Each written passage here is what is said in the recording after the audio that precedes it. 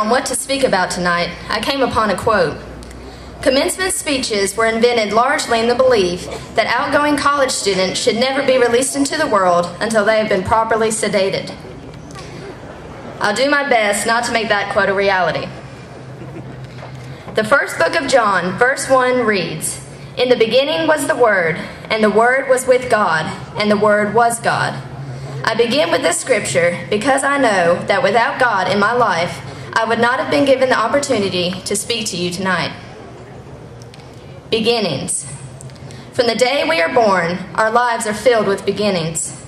Some beginnings are easily forgotten, and some become etched into our memory and remain with us forever. We have been enrolled in school for a little over two thirds of our lives, and many beginnings have come to pass within this span of time. Allow me to recount for you what I believe are some of the most memorable beginnings of our school careers. The beginning of elementary school. I remember this day almost as if it were yesterday. Clinging to my mother's arm, I walked down the hallway of Jones Wheat Elementary, toting with me my clear plastic book bag filled with all of the essentials pencils, paper, crayons, markers, colored pencils, pencil box, glue sticks, safety scissors, folders, Kleenex, Ziploc bags, hand sanitizer, baby wipes, band-aids.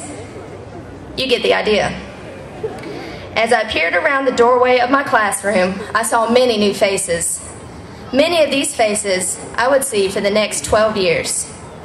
On that first day of elementary school, we began our education.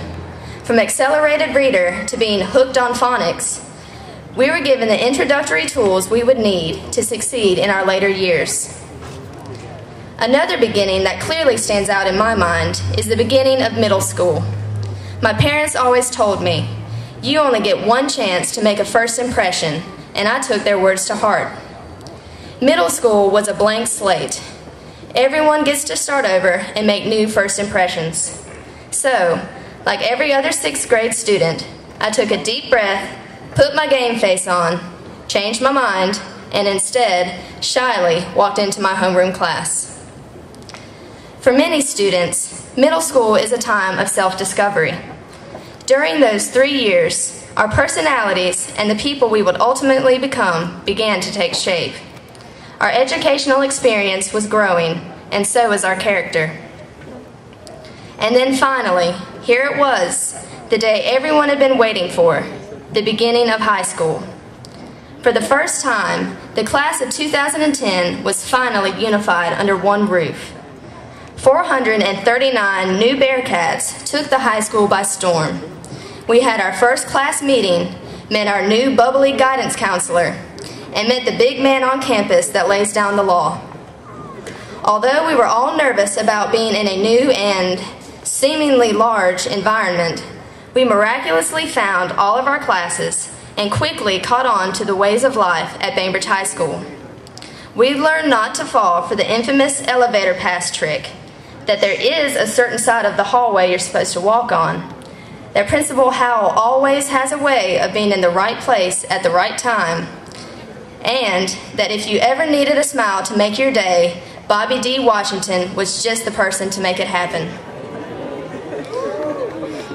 We began our high school careers, and we settled in for what we then believed would be the longest four years of our lives. We quickly discovered that our judgment of time was completely wrong. Before we knew it, our senior year arrived rolling in on two wheels. Somehow, beyond our control, time had managed to speed up.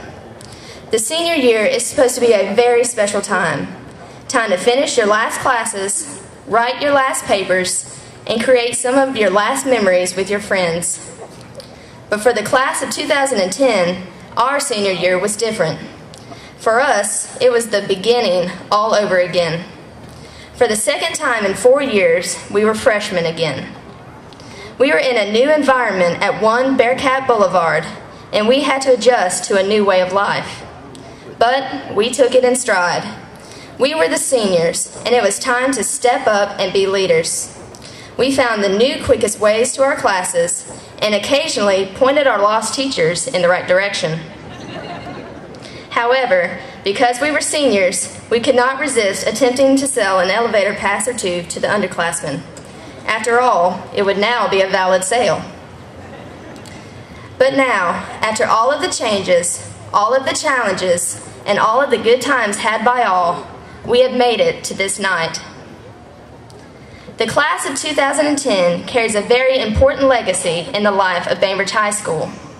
While in many ways we are continuing the legacy of the graduating classes before us, our class is beginning a new legacy.